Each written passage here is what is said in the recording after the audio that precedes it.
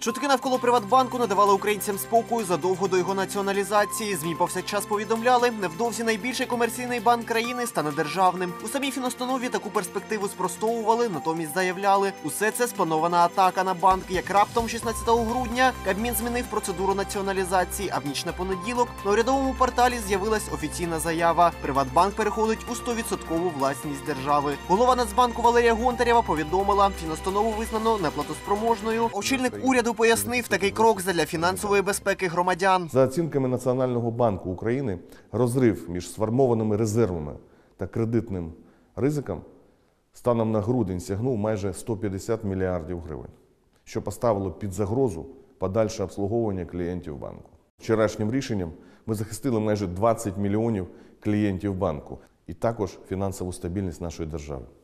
І це було першочерговим нашим завданням діяти саме в інтересах українського народу.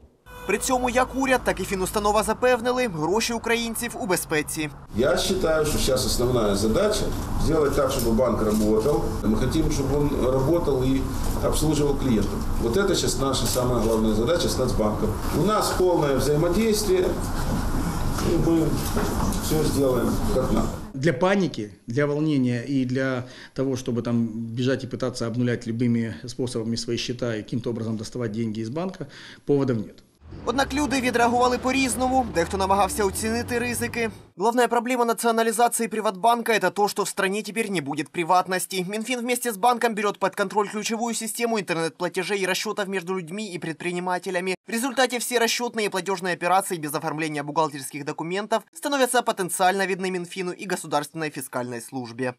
Креативні тим часом почали створювати інтернет-меми, а от переважна більшість просто вишикувалась у черги до банкоматів. Від минулого четверга знімали більше двох мільярдів гривень щодня, і тут же на сполох забили економісти. Стверджують, це загрожує зростанням курсу долара. Если сегодня сами побежим вперед снимать остатки денег, превращать их в валюту, мы себе же сделаем на завтра жизнь невыносимой. Почему? Потому что это вскрутит тут же курс иностранной валюты, аналогично сработает на обесценивание национальной валюты, Та от від загроз потенційних до загроз реальних. Якщо звичні люди переходу практично не відчули, то підприємці одразу ж зіткнулися з труднощами. Елла займається фрілансом, зареєстрована як ФОП. Розповідає, у неділю ввечері перерахувати кошти через онлайн-сервіси вже не змогла. Выдают несколько вариантов. Э, Заблокировано, картка устарела, э, платеж отклонен. Нужно заплатить аренду. Мне нужно заплатить до 20 числа налоги по условиям нашего законодательства. Пока сейчас, пока э, сказали, что это на сутки. Насправді ж, аби відновити повноцінну роботу, фінустанові знадобилося на кілька діб більше. На ранок четверга всі сервіси вже було розблоковано. Спочатку цю інформацію телефоном підтвердили у Криворізькій філії банку. Вже потім у форматі брифінгу про це повідомив новопризначений очільник привату. протягом трьох останніх днів, коли працювала е, тимчасова адміністрація, були накладені певні обмеження на діяльність банку. Однак сьогодні рішенням правління всі ці обмеження зняті, і всі наші клієнти зможуть вже до кінця дня отримати повний набір послуг. Порцію гарних новин підкинув і Мінфін. У відомстві пообіцяли збережуть зручну систему електронних платежів Приват24. Та водночас першими заявами державних управлінців з'явилися альтернативні від колишніх акціонерів.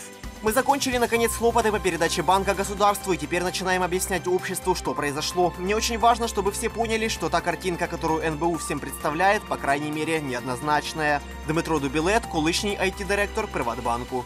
Екс-очільники впевнені, Валерія Гонтарєва вела цілеспрямовану політику знищення Приватбанку. За їхніми словами, Нацбанк постійно змінював правила гри, використав видане рефінансування як інструмент тиску. Утім, поки що так і не зрозуміло, де саме держава візьме кошти на мільярдну докапіталізацію, адже в бюджеті 2017-го про це нічого не сказано. Всеволод Прокоф'єв, Микита Бабенко, програма Місто. Тиждень.